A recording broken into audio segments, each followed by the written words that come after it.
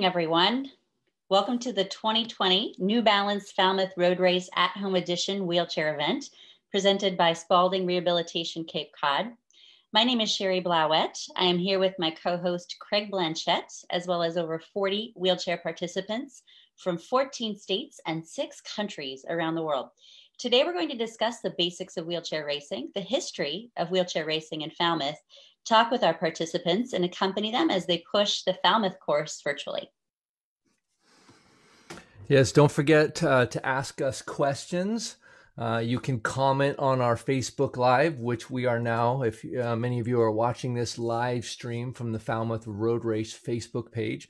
So you can make comments there to us, and we'll get those re- relayed over to us to possibly even answer some of your questions there.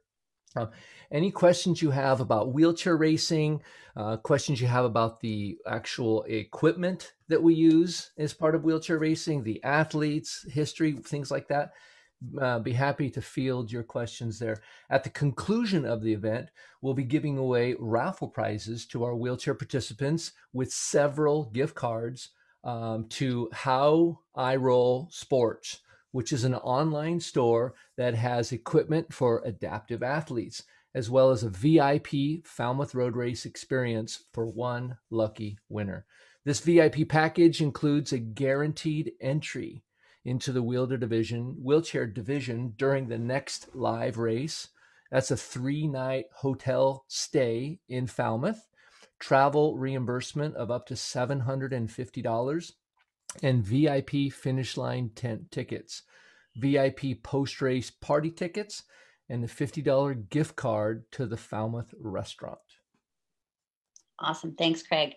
Mm-hmm. Now, I'd like to take a moment to introduce Stephanie Naldoni, who is the Vice President of Hospital Operations of Spaulding Rehab Cape Cod.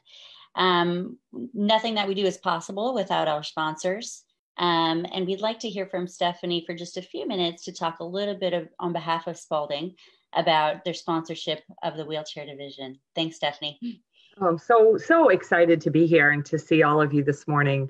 It sure is different, but it's still really awesome. Um, so I want to welcome you all officially, both athletes and spectators, on behalf of Spaulding Rehab Cape Cod and the Spaulding Rehab Network.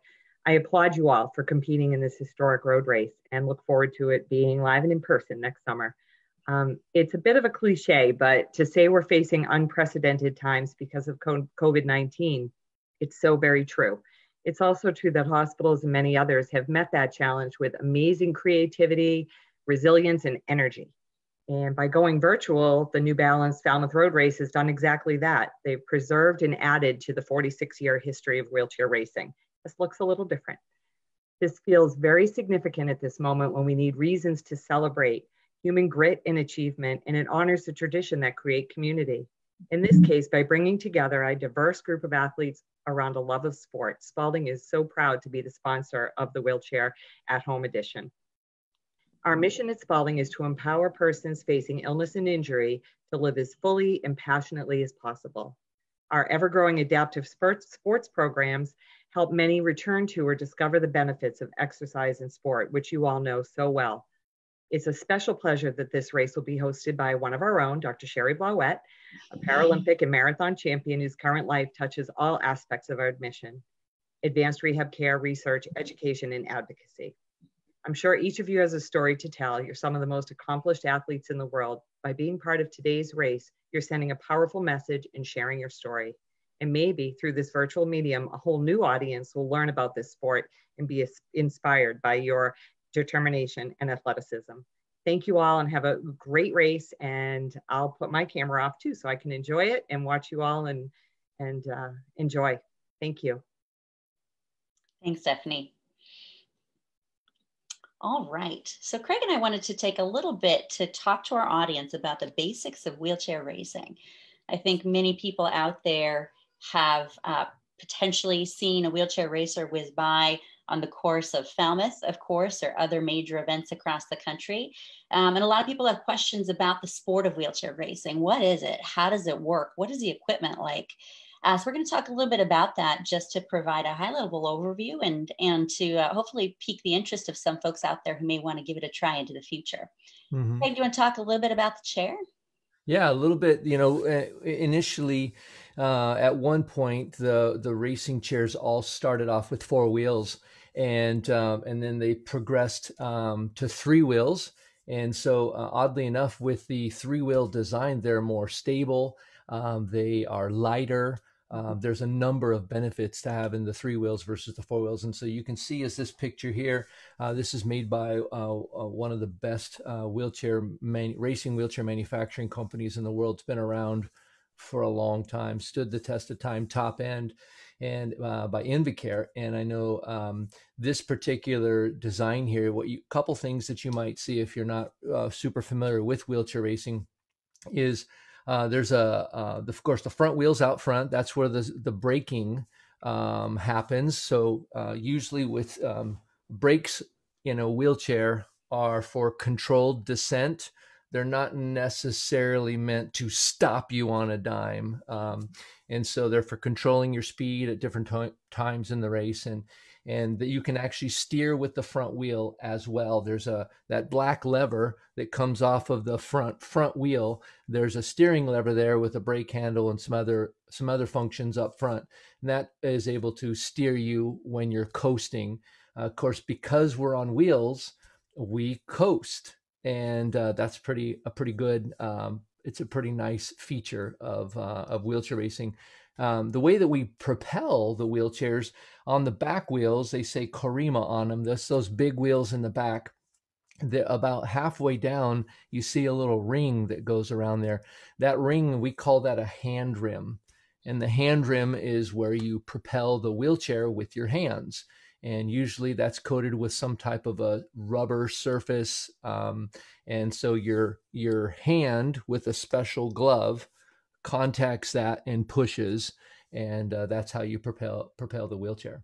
Yeah, and you may wait, folks may also notice the um, people always ask, well, why is that one wheel way out front? Um, I think common question from spectators. Um, the one wheel out front really has how is how the design of racing wheelchairs has evolved over time. Um, as Craig indicated, these chairs initially evolved out of a standard wheelchair, and people were in their garage welding, doing their own work to try to evolve a standard wheelchair into something that could go faster, roll faster, be pushed faster. And over several decades, as athletes and companies continued to innovate, this is the design that evolved. The one wheel is um, further in the front of the chair because it reduces rolling resistance. It lets the chair go faster. It ensures that if an athlete hits a tiny bump on the road or on the course, that they don't pitch forward. Um, so it gives it better stability as well this is a picture of a roller. And so, of course, many of our athletes come from parts of the world where it may not be possible to train outdoors year round. Um, many on this call, in fact, for example, there's a large wheelchair racing program um, at the University of Illinois. It's cold, Illinois, for, in Illinois for much of the year. So, an indoor training mechanism is essential. Um, these rollers really um, mimic the um, mimic the uh, act of pushing the chair, uh, you'll see that the, the back wheels are mounted on a cylinder that has fairly low rolling resistance, although you can adjust the resistance in some models to give yourself different types of um, training. Uh, in the front wheel, the main frame um, of the chair and the front wheel is usually stabilized uh, so that that part remains stable while the back wheels are able to be pushed. Um, athletes will use this um, to recreate that controlled environment to do things like interval training, high speed training, even high resistance training. Uh, some will set up video systems like what you see with, for example, a Peloton. Um, to keep it interesting and to mimic a race course just to keep motivation up through those cold winter months. Um, of course, it also provides another option if you're in a place and you need to train, but you may not have a lot of space or open road that's safe. Um, mm-hmm. So really important that racers have their options, and um, the the the roller is an important mechanism for that. Yeah, it's real interesting with with we've got a workout group that works out. It's called the Low Roller Club, basically, yeah. and we we use these types of devices. And and one of the one of the challenges, well, I've heard someone say, "What's the best type of exercise?" And it's a, a little bit of a riddle, but um, the one you do is the best type of exercise, right? And yep. so, in order to actually um, show up, if you will, uh, community is really uh, it's essential. I think community has been the king um, uh, I heard someone say the word community. They broke it down to common unity. And right now we have community because we're all here participating mm-hmm. in the Falmouth uh, uh, road race. And so, uh, one of the things about having a roller and being indoors and having the beauty of virtual is we can work out with people all over the world yeah. and have that community that you may not have where you live, but you can connect online yeah. And so having a roller allows you to work out in a stationary location. But if you don't have community, it's just nothing but pain. Yeah. It's it could just be brutal. And so when you have somebody to share the um the discomfort of the actual workout together, it, it helps you get through it. And it's amazing how hard you'll go if you're doing it with somebody else. And so yeah. these rollers really enable us to do that kind of a thing. Absolutely agree. So now we wanted to talk a little bit about the history of wheelchair racing in Falmouth. So Falmouth, um, of course, is a historic race taking place on Cape Cod. The first Falmouth road race um, uh, gun went off in 1973. Um, at that time, it was called the Falmouth Marathon. Um, and of course, it wasn't a marathon, but it was dubbed that. And it was held on a Wednesday. And it was on a Wednesday because it was the birthday of the founder, uh, Tommy, Tommy Leonard. And that year he was 40. Um, and it wasn't a marathon as noted, but the same seven mile course that athletes run today and wheel today uh, by Nobska Lighthouse running along the shore. Um, and why seven miles? Because it, the seven miles is the distance between the Captain Kidd restaurant and Woods Hole at the start line um, and where the finish line is at Brothers Four, which used to be a bar. So, of course, bar to bar, right? Tommy Leonard, people getting out to run for his birthday, going from one pub to another pub. You know, that was really the roots of the race. And look at what has evolved since then. It's been pretty remarkable. Mm-hmm. Yeah, the first Falmouth road tra- Falmouth road race with wheelchairs was in 1975. It was Bill Rodgers who encouraged uh, the the father of wheelchair racing, if you will, Bob Hall, to enter Falmouth in 1975. Although this was wheelchair, uh, although this wheelchair racing pioneer was the only racer uh, that first year, he never raced here alone again, and he won six in a row. Uh, the first woman entered the race in 1979. Nice.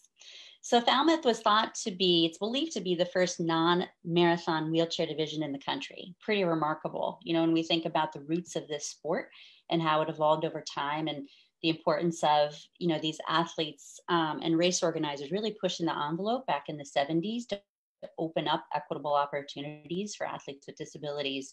You know, a lot of credit goes to Falmouth for the early work that was done in that space and for setting a precedent that other uh, road races could follow, particularly non-marathon races, 5Ks, 10Ks, other distances.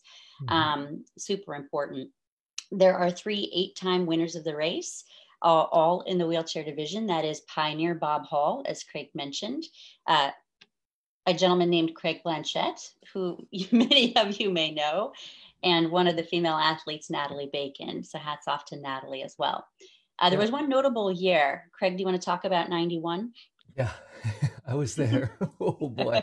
Uh, hurricane. So there was a hurricane named Hurricane Bob, and it came through uh, the Northeast that year. And, uh, you know, the races on Sunday, and that year, or the races, uh, yeah, Sunday. And on Monday, we had Hurricane Bob come and take most uh, part of the the the race course away, and it was a gnarly year. But that year, we had um, some amazing tailwinds uh, during the race. Uh, I'll, I'll, I'll attest to that personally.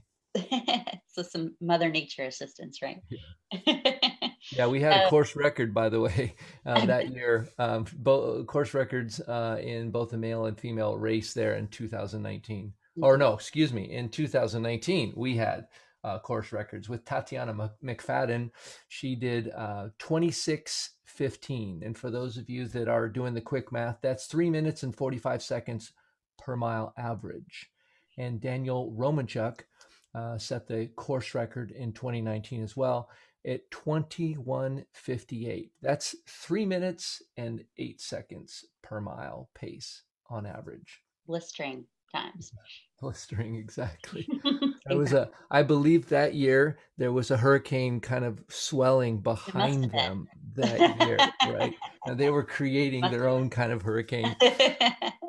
so at this at this time, we want to spotlight a couple of the athletes here, and um, it's really uh, our, our, pleasure to have such a, an amazing quality field uh, joining us here for this virtual event. And so at this point here, we want to bring on um, Daniel Romanchuk. So Daniel Romanchuk right now uh, is the fastest man on wheels on the planet. Mm-hmm. Um, he's uh, also an amazing, humble guy, super, super amazing um, athlete. To watch him watch this young kid, as I would say, um, uh, g- grow into his body and grow into the speed that he was capable of, and just an amazing ambassador for our sport. So, uh, uh, so welcome this morning, Daniel. I've got a couple questions for you. How does Falmouth fit into your training schedule?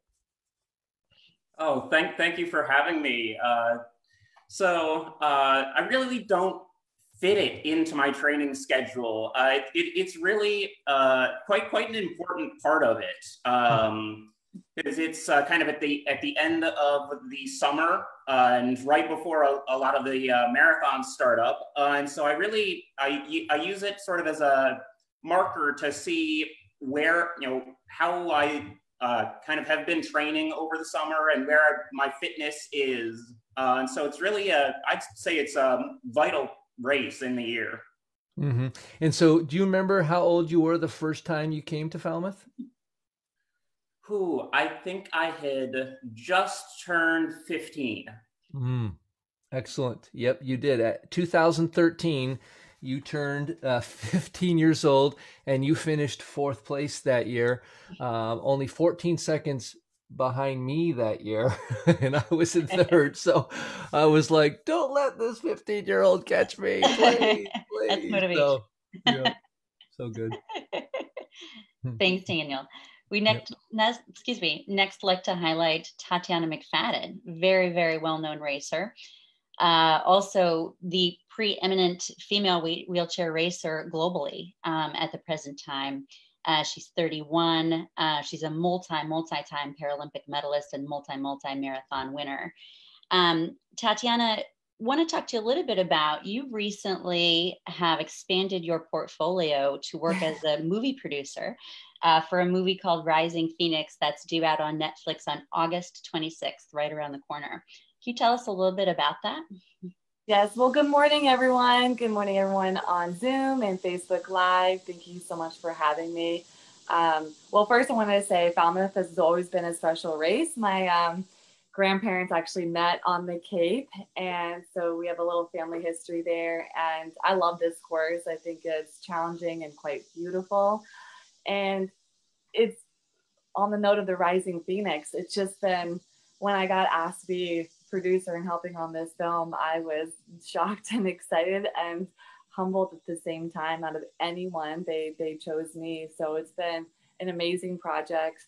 Um, we two, it's been two years in the making, and I'm so excited for people to watch it. It's going to be out on Netflix on August 26th, and I think it's going to transform the Paralympics. Um, this is a document about the history of the Paralympics and how it originated, and it will go all the way through through the athletes highlighted to to Rio. So I I'm very very excited. It's been quite a journey, um, and it's been amazing to have two roles as an athlete and to do a film like this as well.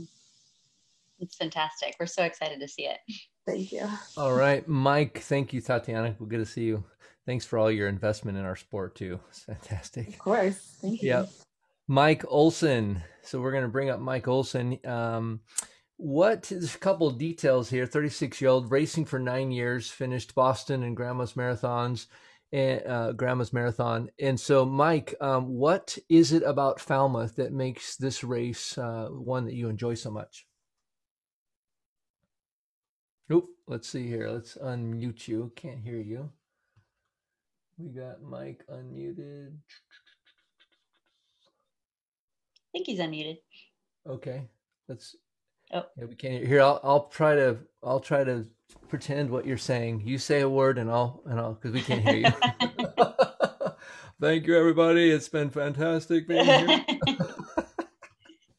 yeah, I don't know what's going on with the uh, with that. Why don't we jump on?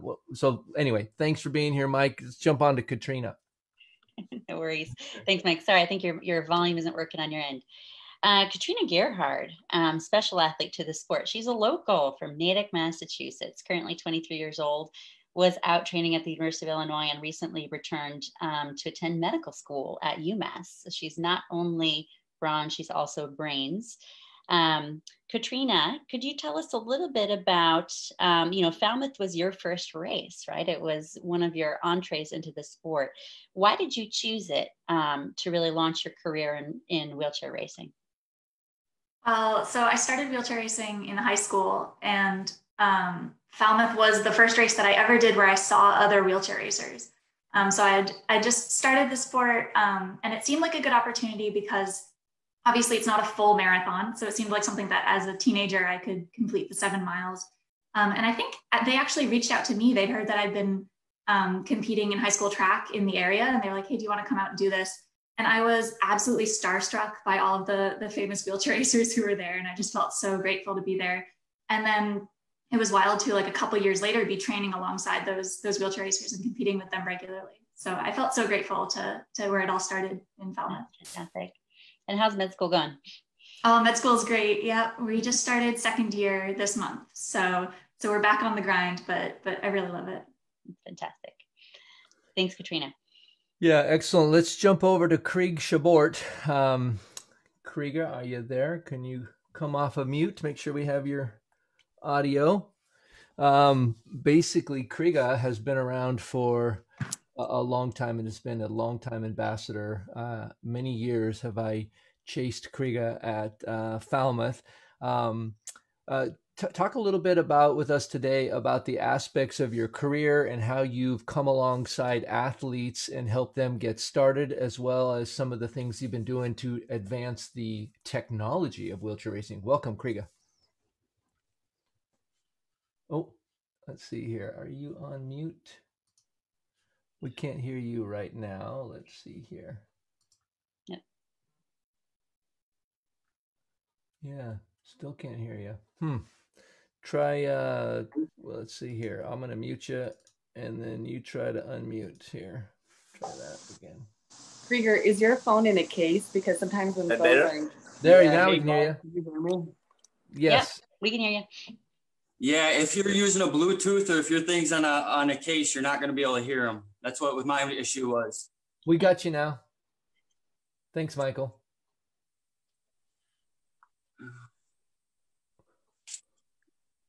Go ahead, Krige. We can we could hear you there. It did work there towards the end. We just lost Krige, so we'll have to move on. Okay. okay. All right. Um, so we are going to jump over to Tony, Tony Nogueira. Hey, Tony. Thanks for joining us again this morning. Now, you've done Falmouth many times. Um, what advice would you give to someone who's about to compete in the wheelchair division in Falmouth. You know this course better than most anyone. oh. Oh, he's you're on, you're on mute as well, Tony. So click on the screen and click unmute if you can with those gnarly fingers. those are some of the old school racing gloves right there, folks. There he is. Try again, Tony. Yeah, I don't. Oh, now you're on again. There's a there's a technique that many of us have learned where we use our, our nose as the finger. Right. There you there go. There you go. You got it. You got it. well, thank you for having me. Good morning to everyone.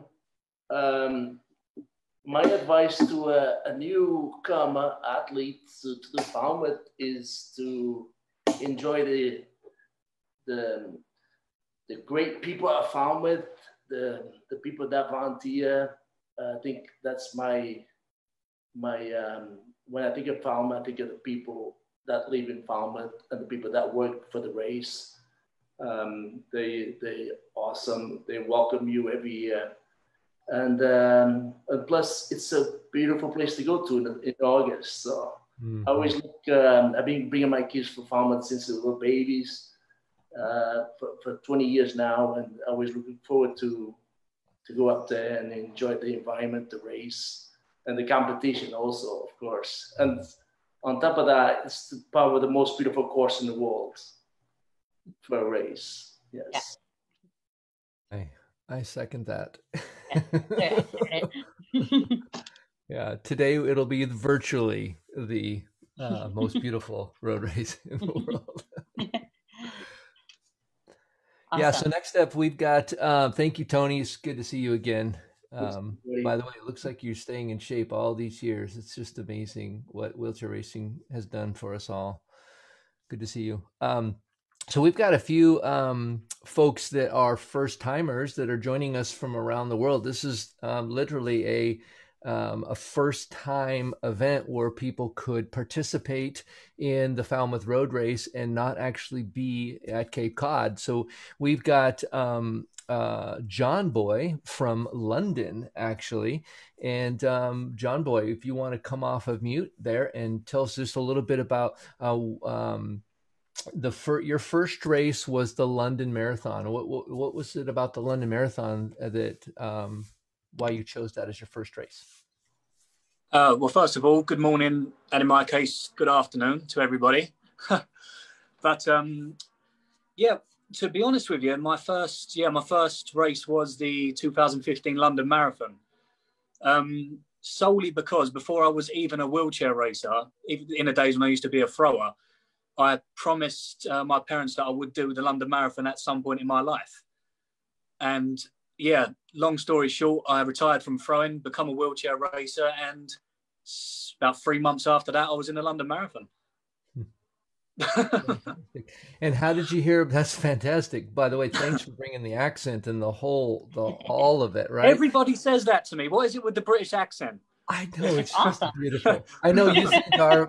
I know you're thinking that my accent is amazing too. I get it. it um, is, trust me. Yeah, thank you. So, how did you hear about Falmouth this year, and what brings you over to, to, to join us in Falmouth? Um, it was after the 2019 event, to be honest, like when the, the course records were broken.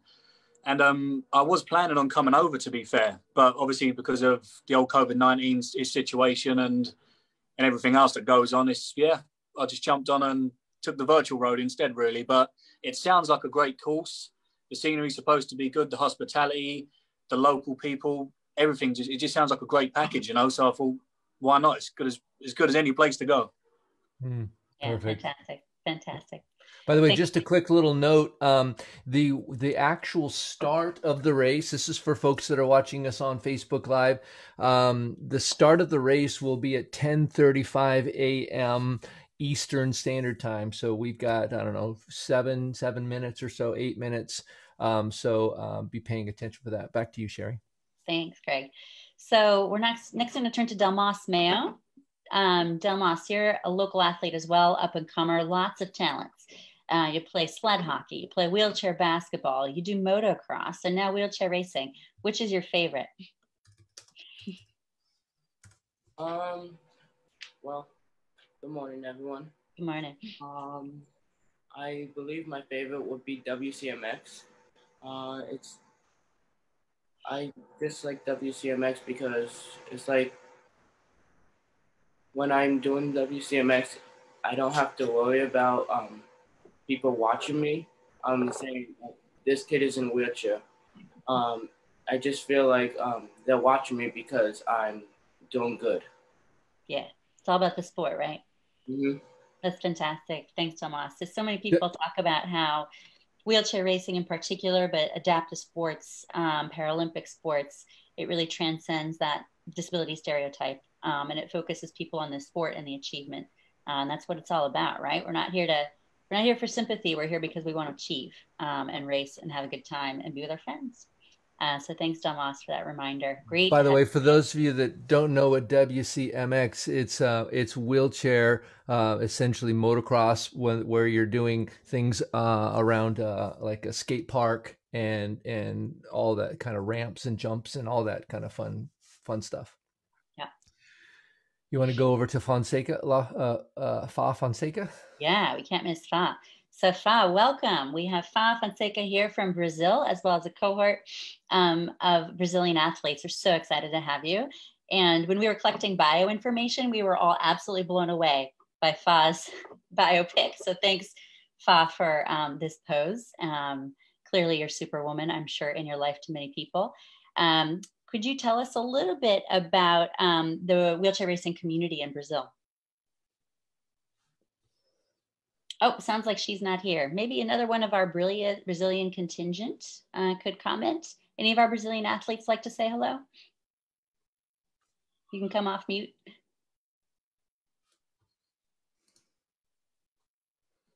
I can talk to you. Yeah, great. Welcome, Danielle. Or, oh my gosh. No, we hi. can hear you.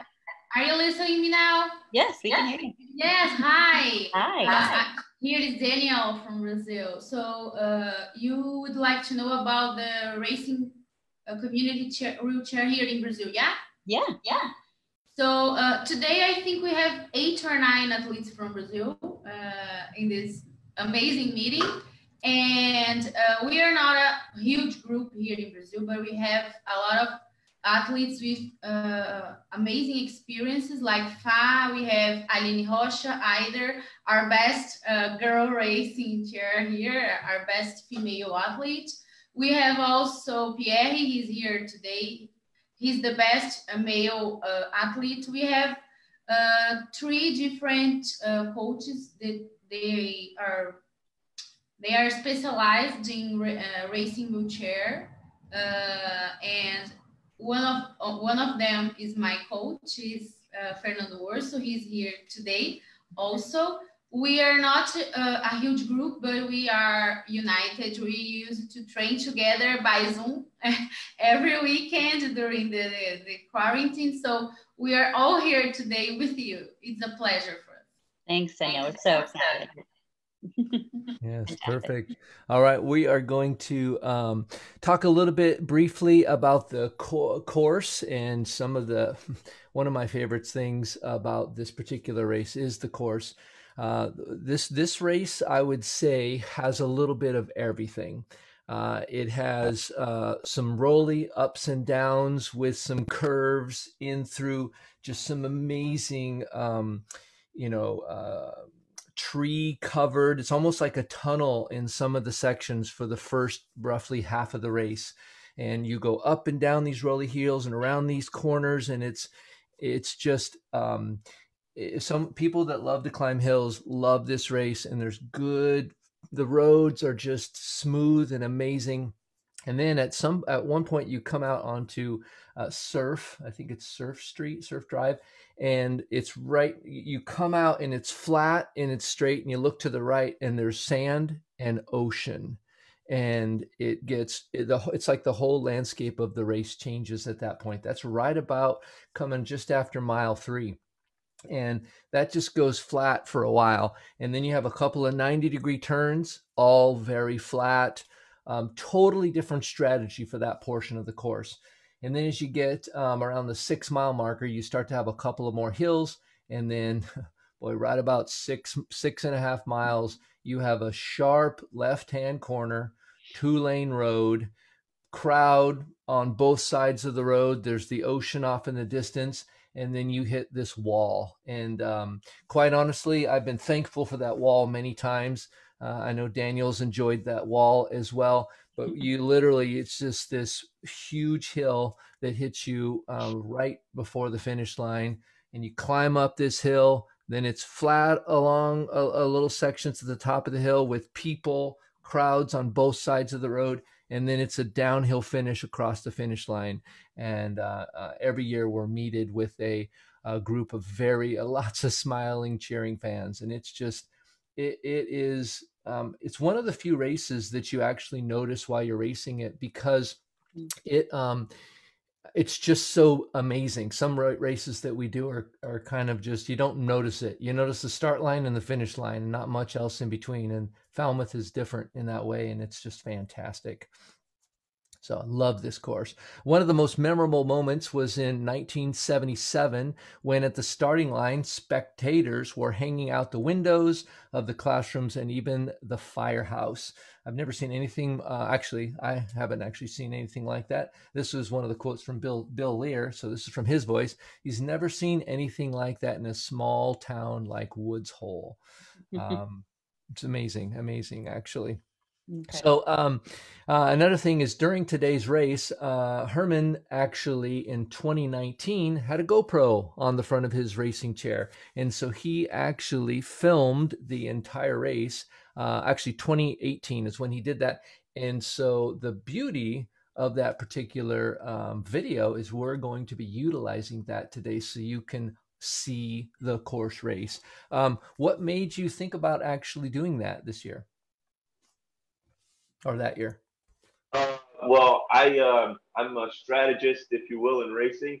So I wanted a, a course, uh, you know, breakdown to have anytime I want.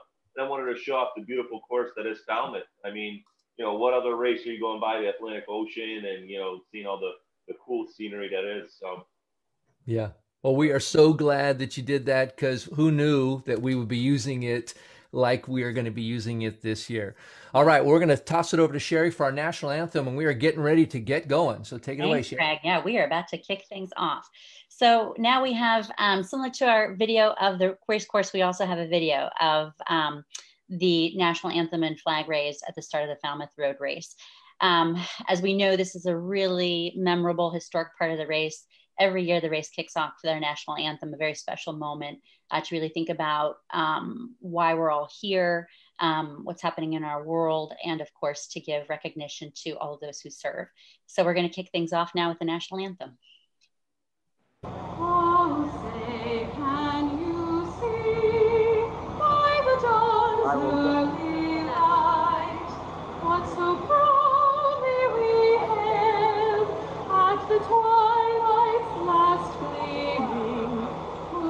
Stripes and bright stars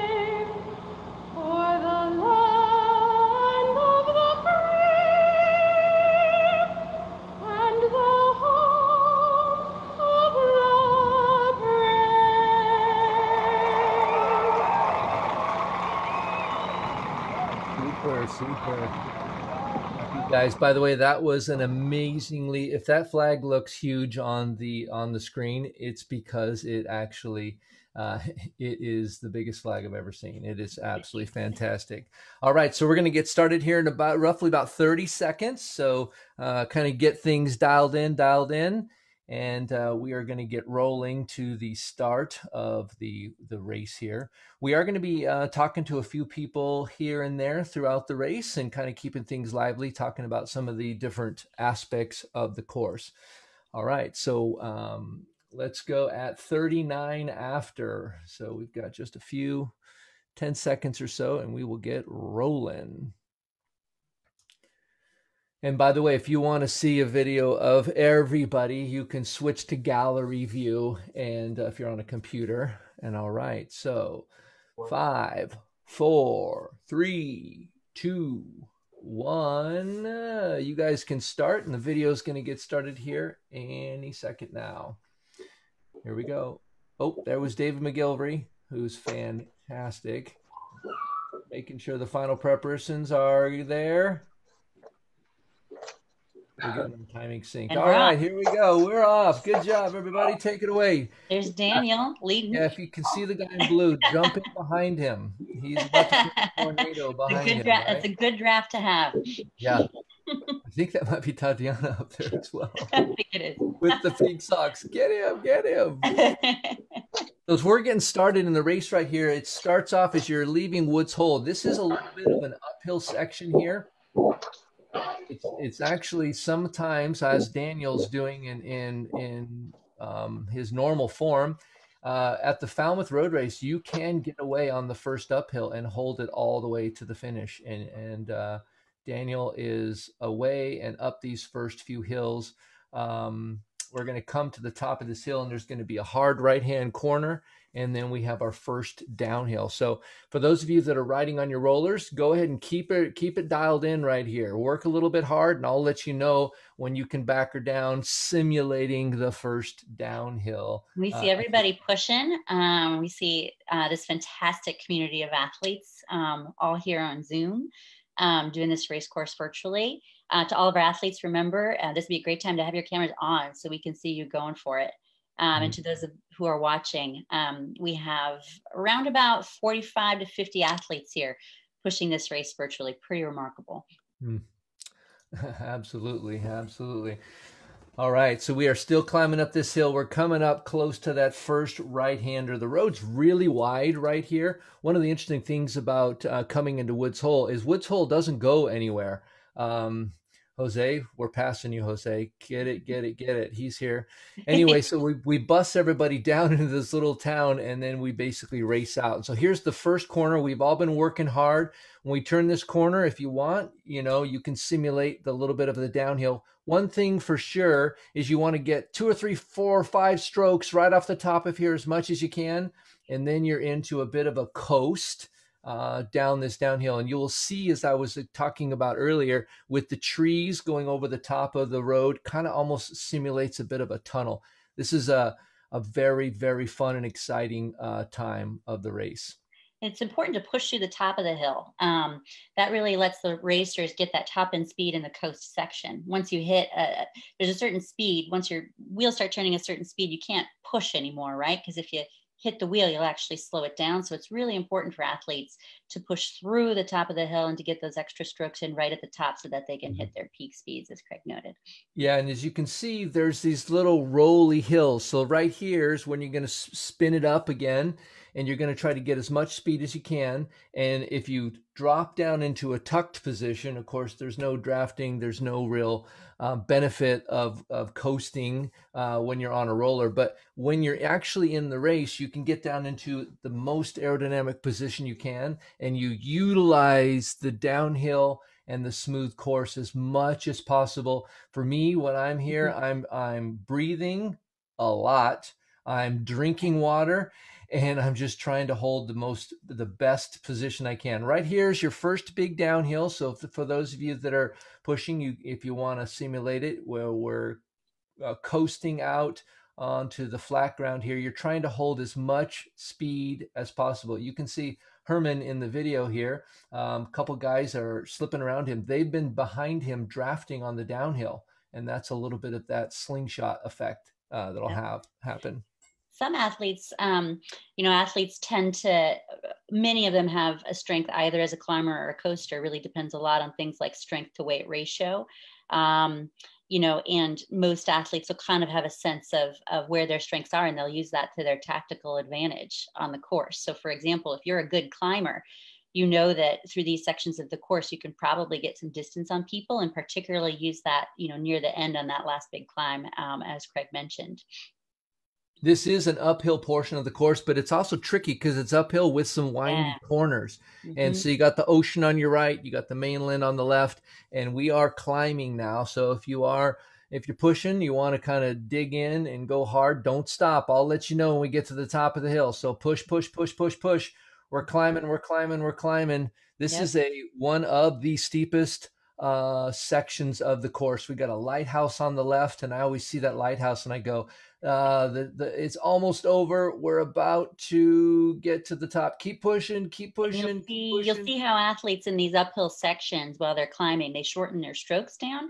You really want to spend as much time on the rim as possible um, in order to get um, the best speed in your climb. Whereas right. you'll see when the athletes, oh, go ahead.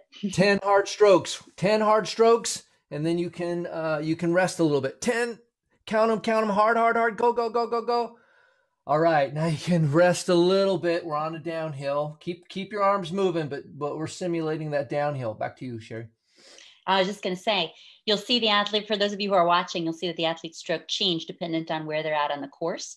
Um, so when they're climbing, they'll use those nice short strokes, a lot of contact time on the rim. Whereas when they go into these sections where they're um, coming to the top of the hill, you'll see their um, their uh, push gets a lot. Uh, uh, there's a lot more follow through, a lot less time on the rim, and you'll see later when they're in some of the flat sections as well, a much bigger push, a much bigger stroke as opposed to the little ones that you use climbing. This is real fast here. If you notice the guys that are up in front, their their hands are coming up high behind them, and then they they stop pushing for a while because this is uh, oddly enough a very fast section. And now we're we're in these little rolly sections. So there's really fast sections followed by short little hills with these little windy turns. Oh, I love this course. It's so fun. it's so fun. All right, now we're, we're hitting another little downhill. So give us 10 quick strokes, 10 hard ones, 10 hard ones. Go, go, go, go, go. Good job, everybody. Perfect. All right, you can take a little breather here as we're coming around this corner. And now we're starting, oddly enough, we're starting another climb. So it's time to get to work again, get into your strong, consistent power stroke, and we're climbing. This is, I think we're just coming up, mm, roughly coming up on the two mile marker about five, coming up on about five to go, about just about 200 down. By the way, if you're joining us on Facebook, thank you so much for joining us today. Feel free to share this out with your friends. Uh, we're really uh, essentially setting a, um, uh, a new uh, a new era of racing, and we're all racing together today uh, in the Falmouth Road Race. This is a great part of the course where you go underneath this bridge. Um, it, it's a little uh, it seems like the road's gotten very narrow there. Uh, you're in a bit of oxygen debt with these little short uh, uh, hill climbs, and then it's got all these little um, wavy turns. And sometimes, you know, you can lose sight of the person in front of you, and it's a real, real tricky portion. All right, mm-hmm. 10 quick strokes again. We're on the downhill again. Wind it up, wind it up. After you get 10, you can go into maybe a little bit more of an easier stroke and simulate that, the coasting section. Uh, this is the beauty of this part of the race where you have a lot of the rolling ups and downs. Um, that's going to end as soon as we get to the three mile marker, and it's going to be time to work. It's mm-hmm. nice and solid. All right, we are back on the uphill. And it's fun because you can see these two guys in front of them. Um, Jose Padillo, who's actually with us today, he's the guy that's right up in front of Herman here um, in the race. How did you do on the on the downhills uh, sections? What was your strategy? Just you were just passing the two mile marker. Two mile marker. Excellent. Great. Yeah, you know, Craig, I was I I'm a fairly small person, so I was a, I was climber, right? And so my strategy was always to, um, as much as I could, uh, you know, use this techniques to push through the top of the hill, gain as much speed as I could. If you know, frankly, if possible, tuck in behind a bigger athlete uh, where I could get a good draft going, and then to save most of it for the climbs. What about you? Oh, uh, uh, yeah. I've, I've the the beauty of being light and strong is you can climb well, and exactly. if you figured out the aerodynamics, you can coast well. And uh, typically, um, people favor one or the other. Um, it's it's important you can coast well, but I love the hills. Bloomsday, Falmouth, uh, Peachtree, many races that have those uh, one of the races I never really enjoyed was Gasparilla because it started flat, it went out, it turned around, and it came back, and it was just torture for me. So I love these kinds of races. Of course, love now, of course, like Falmouth is much more interesting, right? You have all the different. Oh, look at this course! It's, yeah, it's unbelievable.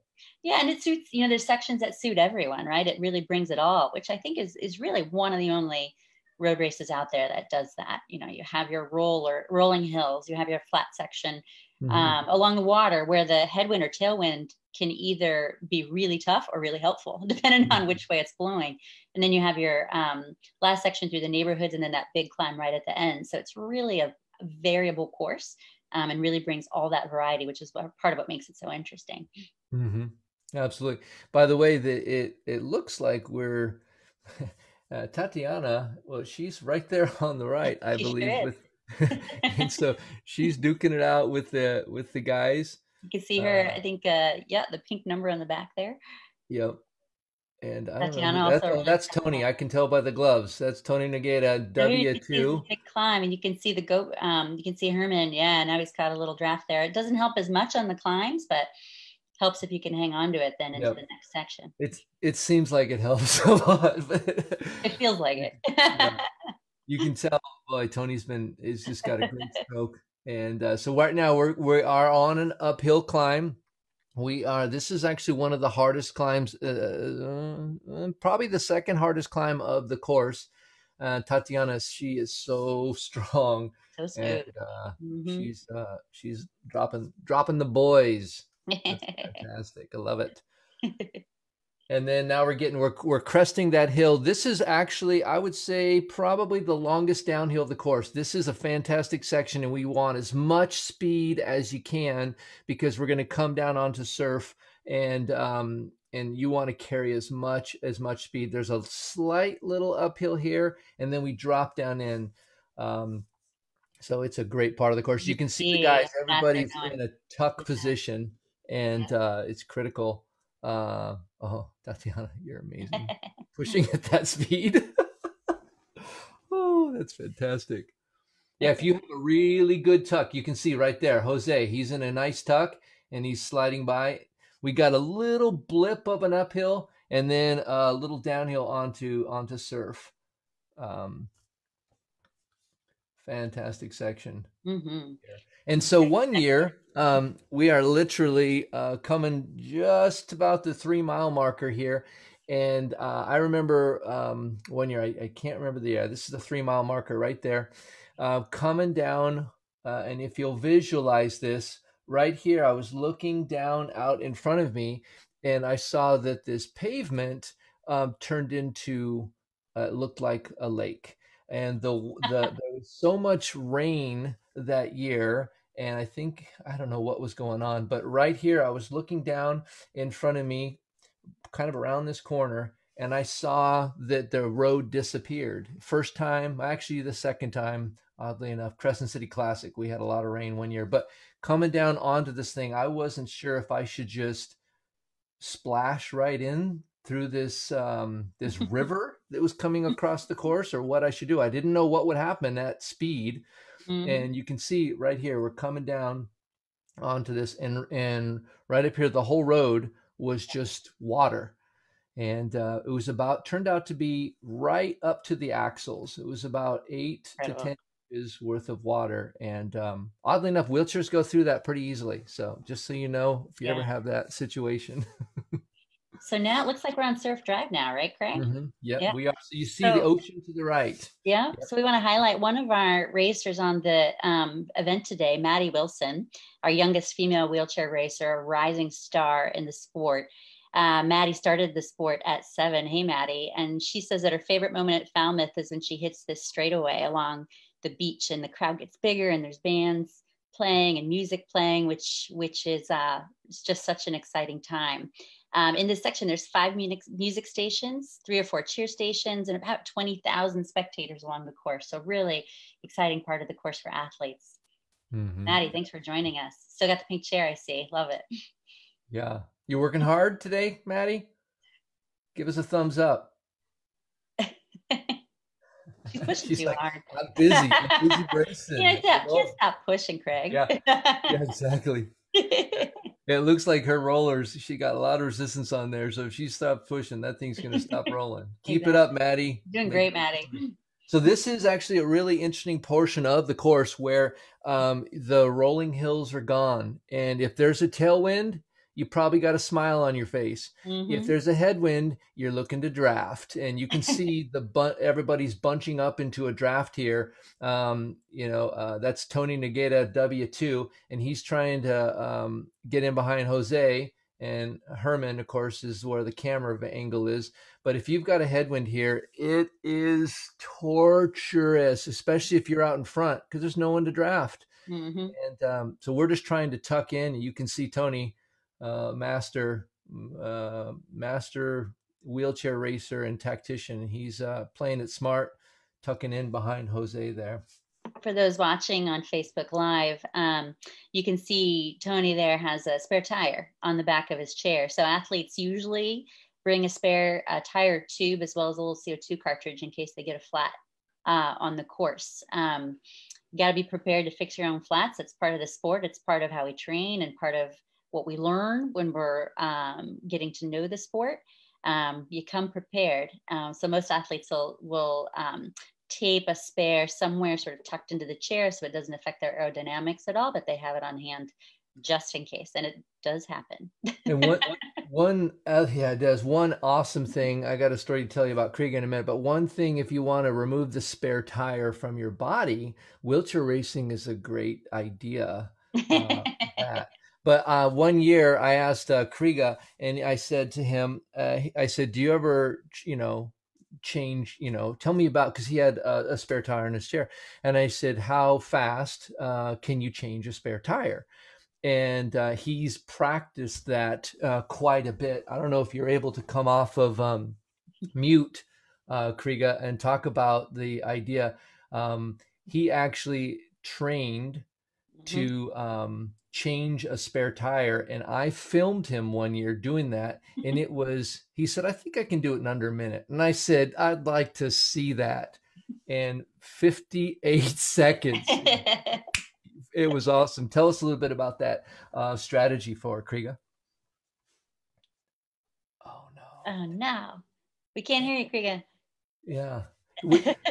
It's okay. It's okay. yeah try try clicking on mute and then unmute Good luck.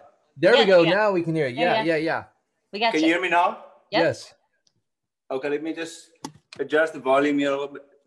okay we can hear you perfectly well by the way Yeah. Okay. No need to adjust. All right, so yeah, that was long ago. Um, whew, my camera is going all directions to be like this. yeah. All right. Um, what year was that? Was that? I think that was the first year Daniel was there, right? Probably, yeah. We were in the lobby of the Yeah. hotel, and I said, "Let's see what you got." Yeah, Yeah, that was uh, uh, something I had to I had to practice quite a bit actually. In Yeah. the early nine, late nineties, I had a lot of flat tires for some reason. I don't know why, and I always thought like I gotta figure it out. So then I just went home and I and I trained it and I trained it and I, until I figured it out and I could do it pretty quick. So without losing too much time, and I'm telling you, it helps a lot if Yeah. you can do it, if you're confident in doing it. mm-hmm. Yeah. Thanks, Krige. almost every i'd say one thing that athletes learn as they rise up through the sport almost every athlete is an incredibly wheelchair racer is an incredibly handy person you know every athlete travels with their own toolkit their own air compressor typically spares spare wheelchair parts um, you know a lot of athletes fly with their racing chairs and you can develop little um, you know problems uh, when the chairs come on off the plane. And so you got to be really adept with your own equipment.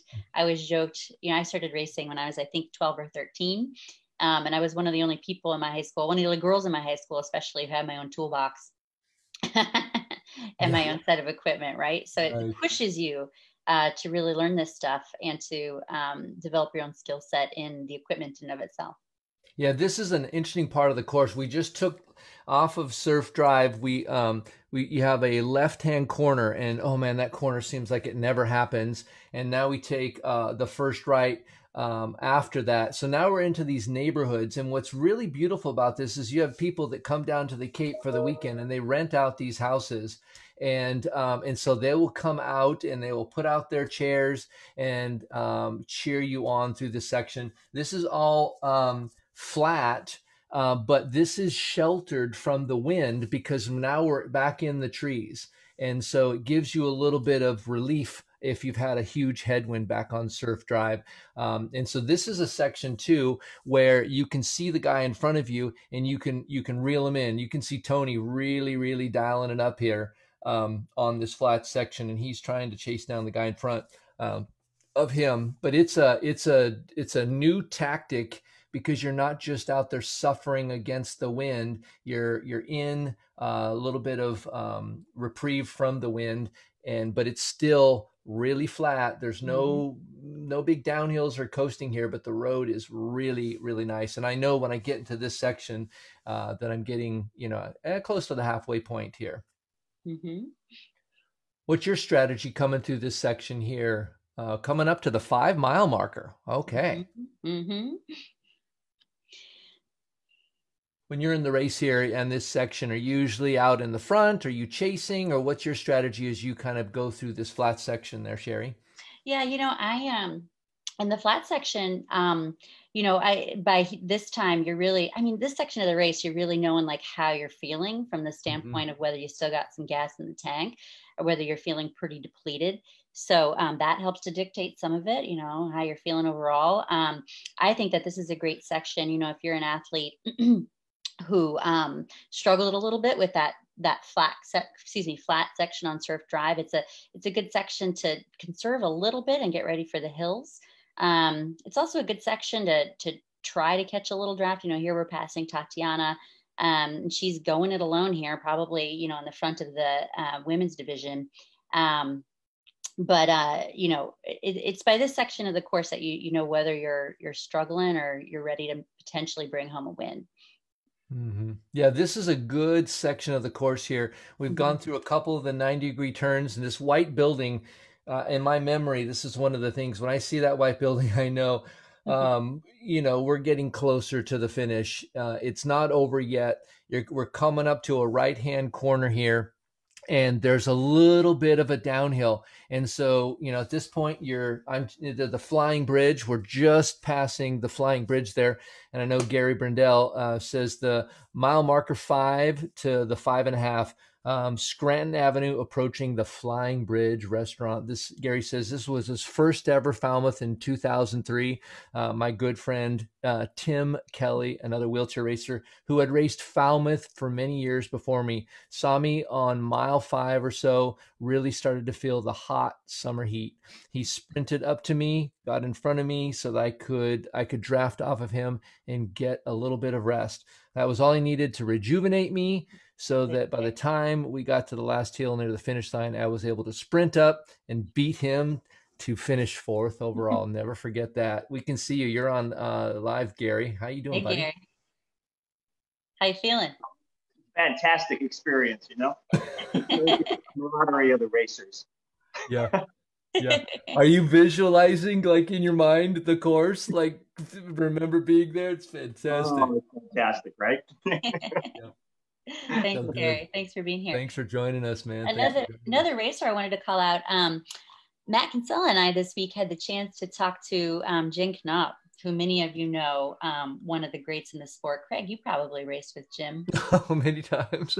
many Oh, times. You guys were quite the ri- had quite the rivalry, if I recall. Oh my goodness. But Jim yeah. said that he would often, um, he won the race in 89, 90, and 93. And he would often do a race in Seattle on Saturday called Wheels on Fire and then take a flight to Boston, land at Boston practically in the middle of the night, rent a car, drive down to Falmouth, get maybe an hour or two of sleep, and then jump in the chair to do the Falmouth Road Race. So pretty, remar- pretty remarkable. Yeah, the, Um, the Wheels of Fire race that in '86. That was my first ever. That was the first year they had that race, and that was my first official wheelchair race.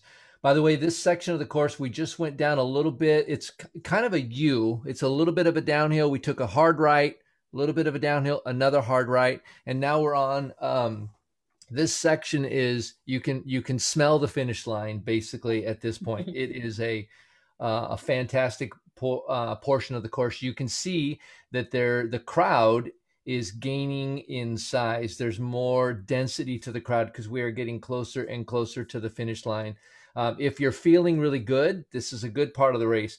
If you're tired, you're looking back a lot because people are probably catching you at this point. We're just right. passing the six mile marker. So you're feeling it here. It's also hot in this section. Oh. You know, not as much, not as much breeze, um, headwind or tailwind, either way. It's just hot. The air's a little bit more still.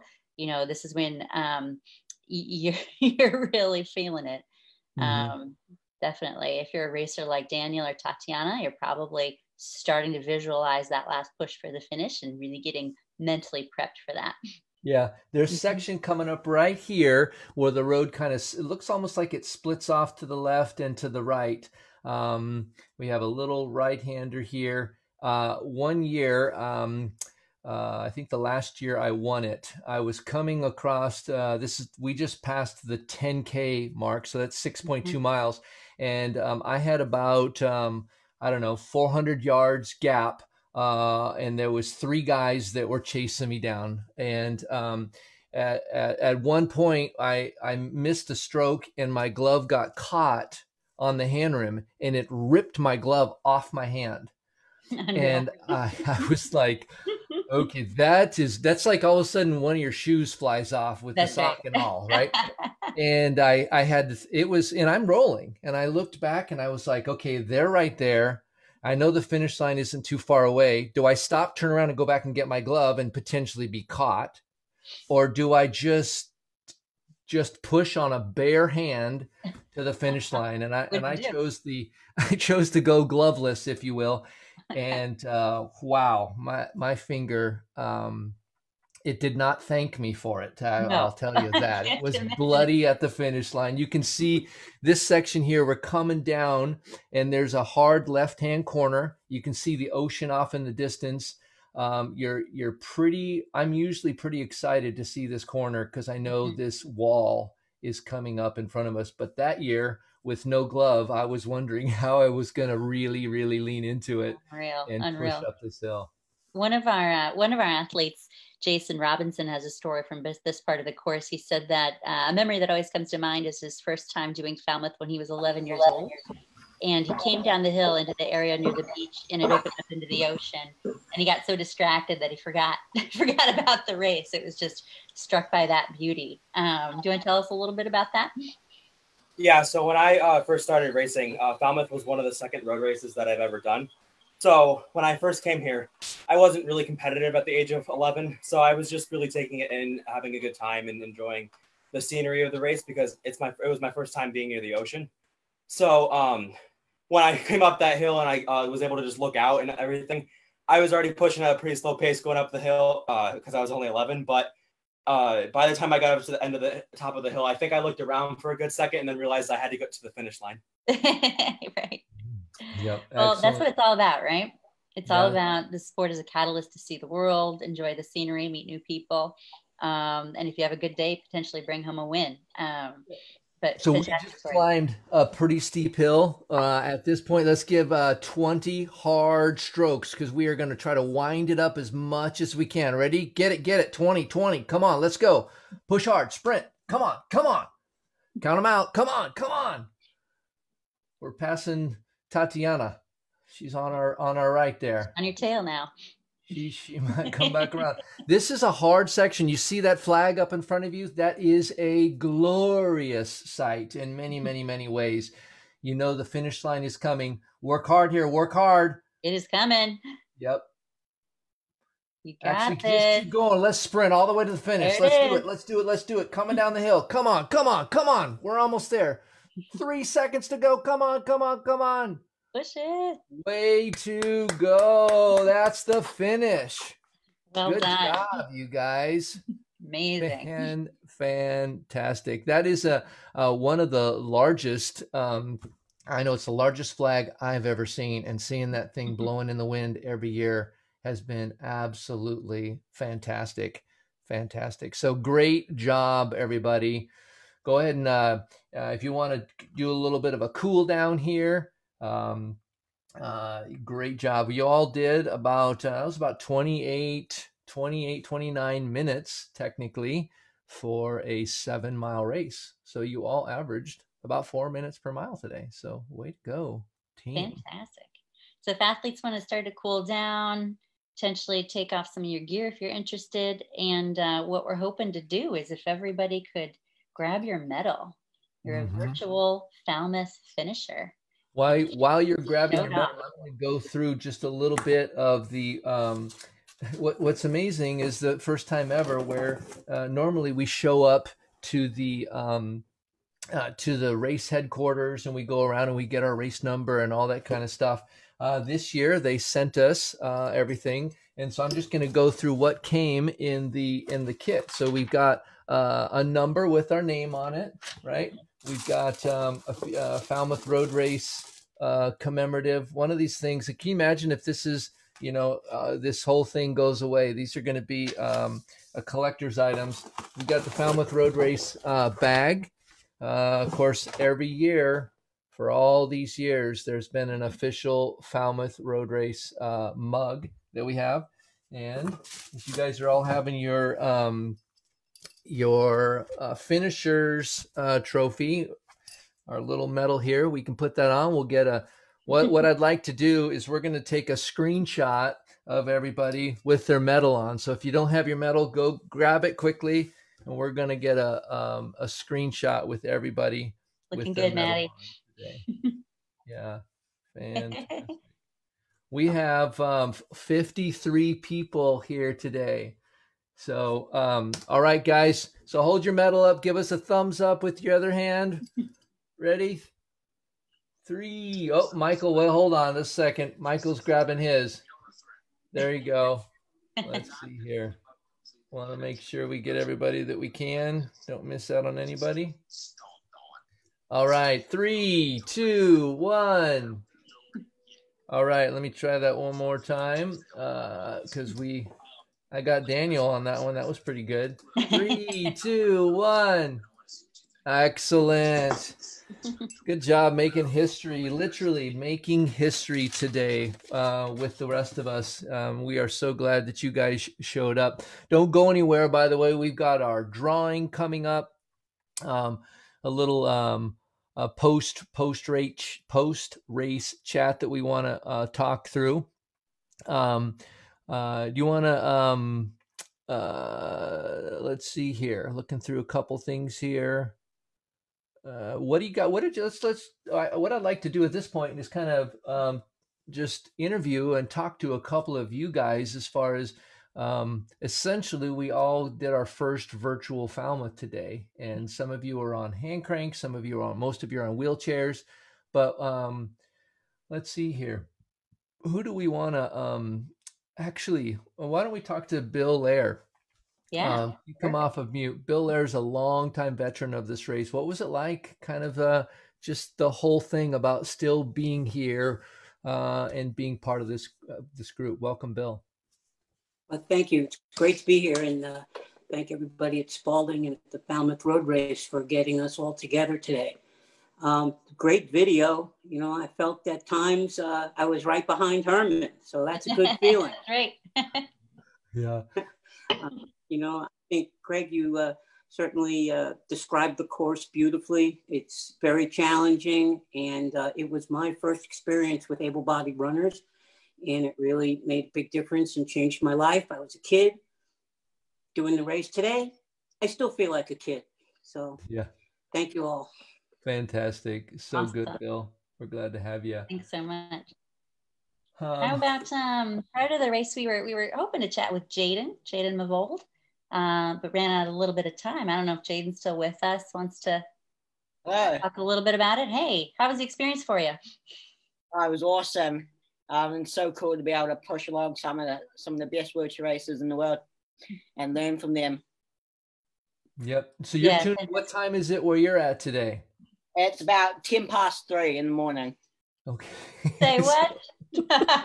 You're coming in from New Zealand, huh? Yeah. Incredible, Jaden. I did the Boston Marathon, and that was at three three a.m. as well. And I also did uh, a Spokane event, and that was about 1.30, 1 o'clock in the morning. So Fantastic. I'm I'm, get, I'm getting used to getting up really early. That's good. What? Uh, how long have you been racing? And how old are you? Um, I'm 16. and I've been racing for about 18 months. So I, I, wa- I was a competitive competitive swimmer for about five five years, and then like um, it didn't really work out. The classification system wasn't that good, so I tried racing out, and I absolutely loved it. So I fell in love with it, and I've done it ever since. Fantastic, dude. Welcome to Falmouth. Hope hopefully we'll see you in person one of these years. Yeah, yeah. That'd be Thank you. amazing. Come make a trip to the Cape. Yeah, well, thank you. Fantastic. Uh, How about you, Matt Davis? I know you've done this race many times. you want to come off of mute and tell us just kind of a little bit about your experience here, being on the virtual and joining us virtually. Are you able to get to the mute? Oh boy, that's going to be harder than the race. There we There go. it goes. Are we good? Yeah, oh. loud and clear. Stretching there. You know, it's really uh, challenging doing this uh, whole remote thing with having to climb up the telephone pole to switch the router on. So here in Kentucky. That is Glad there are no injuries incurred. I would be I would be remiss if I didn't mention all these years that I did it, all the things that Lucia did for us over the years. Yes.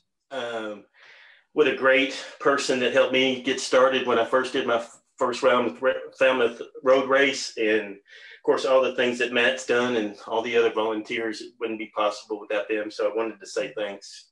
Incredible. Thanks, Matt. And uh, in addition, Paula Warren, who ran and helped out with Right. shuttle service all those years. Yeah. So thank we're thinking about you too. Thank you, Matt, for for bringing that attention. Uh, we let's talk to uh, some of our champions. Actually, uh, Tatiana, what was that like? Because could you visualize yourself kind of going through the course, and and you were kind of seeing yourself almost. It's like you were racing with yourself the whole way. What was that like for you? yeah, this is um I really actually enjoy doing these virtual races and I think it's a great way for all of us to come together and be a community again. Um, I know that the pandemic has been hard for everyone, so I think this kind of gave you know a fresh of breath air for all of us to see each other, to see how we're doing. And Mhm. Greg, you did a great job with the course.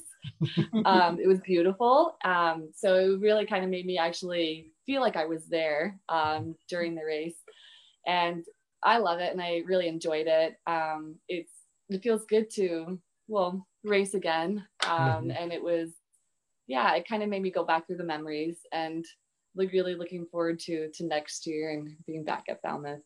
Yeah. Mm, so good. Thanks, So Tat. good. Excellent. Well, we are gonna um uh, uh Matt, we want to toss it over to Matt. Matt, do you have any of the uh, questions uh maybe from Facebook Live that uh folks had that we could possibly answer there and then we're going to get to our raffle. Absolutely, yeah. So there was uh, one question that I saw on Facebook Live actually um, was basically just um, the importance of drinking water because obviously it's uh, you know drinking water for you know you guys with your gloves on and whatnot. Uh, how um, is that possible, and uh, is it important for you to drink enough water on the course? That was the question that was on Facebook Live. Yeah, sure. you want to take that? Sure. Yeah, great question. So, you know, clearly it's a little different than if you're running the race. Um, most of the athletes have on gloves, as we were describing, and you're in that sort of tucked position uh, so that you can get the best aerodynamics and the best um, performance uh, from your stroke.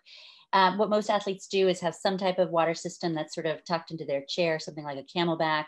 Um, and they'll take the hose of the CamelBak and kind of route it up through so that it's accessible um, via just sort of tilting your head down a little bit and you can take a quick sip whenever you need one. Um, that way you can get a drink here and there without having to stop pushing or without interrupting um, your race. So our athletes clearly, you know, don't typically stop at the watering stations, but they carry a small supply of water with them. You know, a race that's around seven miles. Typically, you don't need a ton, um, but a little bit's certainly healthy and helpful to have. Yeah, one of the things for for folks, um, I've talked to people that that volunteer at the water stations, and um, I just want to apologize for all of the wheelchair racers. We love you, and we're glad you're there, and we're not ignoring you. But the water on the gloves do not mix, so that's go why we blow right past you. That's right. Any other questions, Matt? Uh, that is it. Okay, fantastic. Well, fantastic. This has been a, uh really a one of a kind um, experience for me, and uh, I love um, um, I love kind of coming back. Well, Falmouth is just such a fantastic memory for me. I, I, I've I've been doing Falmouth since 1990 or something, and and it's just uh, a race I've always come back to, and and a race that I've brought my family to, and and it's just been fantastic. And so, um, being able to see um, to see the actual course again and refresh that my in my memory and it kind of gave me goosebumps on some of those sections because mm-hmm. of just the amazing memory uh, of being there and so we're going to move on into our uh, raffle prize uh, today. So I want to uh, introduce Matt uh, Kinsella. He is the Adaptive Athletes Program Manager of the New Balance Falmouth Road Race. So welcome, Matt. Hey, yeah, thanks. Uh, so all these wheelchair athletes have heard from me. Um, they, the, I'm the point of contact. Uh, so hello again, everybody. Um, so we've got some great raffle prizes today. Um, so we have uh, six different gift or six gift cards from How I Roll Sports. So they're wonderful to work with. Um, basically, we offered up to buy some gift cards and they said, you know what, we'll match it. So we have two gift cards at the $50 denomination, two gift cards at the $100 denomination, and two at the $200 denomination. They, um, How I Roll Sports, if you're not familiar, um, it's a company that has adaptive sports equipment for adaptive athletes. They offer wheelchairs and parts, tires, a variety of things that all wheelchair participants could use. Um, so, um, and I also wanted to mention if you do not win a gift card in your virtual gift bag, there is a coupon for How I Roll Sports. It's $10 off when you spend $50 when you use the promo code Falmouth at the checkout. So here we go with the raffle. I am using my race mug um, and I am going to pick some names here. So we're going to start off with the $50 denominations. We'll go up from there and then we'll do the VIP Falmouth package. I'll, rem- I'll remind everybody what that is in a second. So the first $50 one, uh, Shandy Oliver, you won the first $50 one. So congrats, Shandy. Here to go, Shandy. All right. Second $50 gift card goes to Jason Robinson. There you go, Jason. Way to go. Way to go. Thanks, Jason. All right. First $100 denomination gift card goes to Will Lear.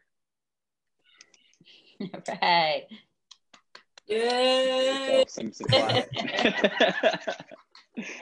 Thanks for You're joining us today. All right, the second $100 denomination comes to a newcomer to Falmouth, Delmas Mayo. Good job, hey, Delmas. Delmas. Thanks for joining us today. All right, now we go to the big ones, the $200. Here we go. John Boy Smith. You got two hundred dollars. Hey, John Boy. Whoa! How well, that was a surprise. Thank you. oh, thank you so much. I appreciate that. You're welcome. Thank Thanks for joining us. And our final gift card goes to a good friend of mine who shares the same name as me, Matt Davis. Second $200 denomination. Dun, dun, dun. Nice. All right. Now, for the grand prize. This is a big one. So, we have a VIP Falmouth experience. So, for the next Falmouth road race that happens, you will, the winner of this, will be have a guaranteed entry into the wheelchair division. You will have travel reimbursement up to $750. And you will um, have a three night hotel stay in Falmouth, um, VIP finish line tent tickets, VIP post race party tickets, which is one of my favorite parts of the race. Um, and I know a lot of other people too. And um, a $50 gift card to one of the Falmouth restaurants. So, as we are doing, I am putting all the names back in for this final raffle. You have a chance to win it. So I'm gonna shake it up nice and good because I want to make sure that it's fair. And go deep into the bottom. And we have a second time winner in this. It is Will Lear. Hey. Look at that. Lightning strikes twice on this raffle. Nice. All right, 2021. Congratulations. Thank you all for joining us today. You made this event awesome. People on Facebook are loving it. This is awesome. Um, I hope I can see everybody in person next year. Um, I'd much rather that, but this is the next best thing. Thank you all for joining us in this Falmouth virtual at home edition uh, presented by Spaulding Rehabilitation Cape Cod. Thank you all for that. Thank you. Well, one uh, one thing here is just as we're finishing up too, for those of you that have joined us today that are interested, uh, we I know all of you have rollers, and if you want to stay part of community, I know Tatiana said it's just it's hard to stay connected and and on community, and so uh, we do have the Low Roller Club uh, that meets uh, Monday, Wednesday, and Friday, and uh, uh, this is kind of a, a, a video. This was the Peachtree Road Race simulation. Saul Mendoza joined us, and Cody, uh, Jim Martinson, a lot of people, Pam Fontaine, number of people here that have joined us. And um, I will put in the chat window again, and I'll post this on the Falmouth um, page. But you guys are welcome to join us Monday, Wednesday, and Friday at 7 a.m. Pacific, uh, 10 a.m. Eastern, and we ride for an hour three days a week. And so you guys are more than welcome to continue the community and join us. And uh, it's been such an honor. Thank you so much, uh, Cheri, uh, co hosting this. It's been a pleasure uh, to join and uh, to do this. Kind of, it's first time I've done something like this uh, ever. What did you think about this today? What do you got to say?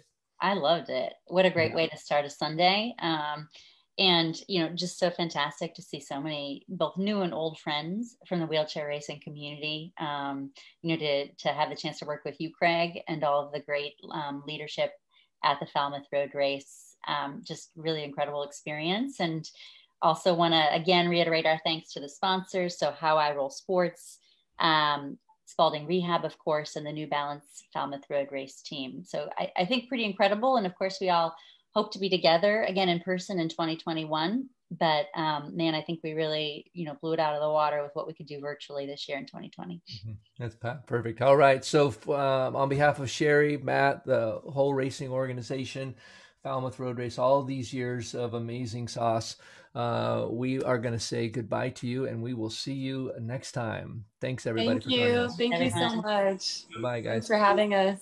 Thank you, guys.